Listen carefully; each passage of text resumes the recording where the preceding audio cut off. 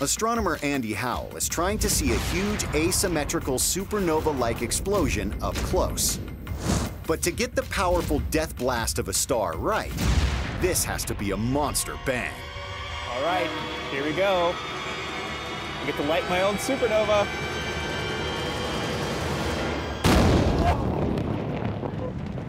Oh my God, dude! Man, that was a bang! Damn! that was so fast, it was just unbelievable. scared the hell out of everybody. Oh, wow. I felt the explosion. It really felt like I got the kicked out of me.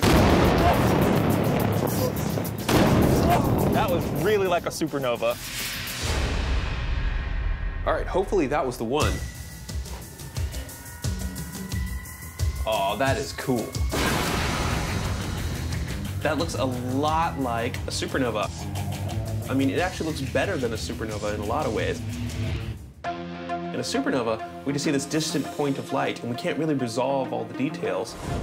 But here, we can see all these fast-moving bits that are just flying away. That's just like in a real supernova. We often get little blobs of calcium racing out a tenth the speed of light.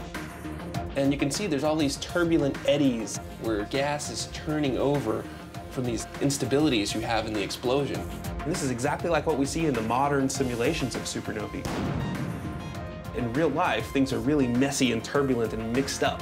We're just starting to be able to do on a computer what nature does when you blow something up.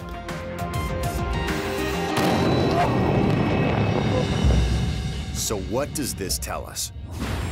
Could the blast from an asymmetrical explosion in deep space reach the Earth? You know, it's nice to admire them from afar, but if you got up really close, you know, these are big, giant explosions that are taking place out there in space, and you wouldn't want to get too close. Today, astronomers are watching one particular star 8,000 light years away that could be a real threat to Earth. Eta Car is a really massive star that's pretty close by. When that thing blows up, it's going to be a big spectacle. It could have blown up already, and the energy could be headed towards us. Light and energy from Eta Carinae takes 8,000 years to reach Earth. So if this star has already gone supernova, it could be sending high-energy radiation called gamma rays right at us. This burst hits Earth, it could wipe out up to half of the ozone layer. Almost all living things would die within hours. And then, the planet could cool so rapidly, it would trigger a new ice age.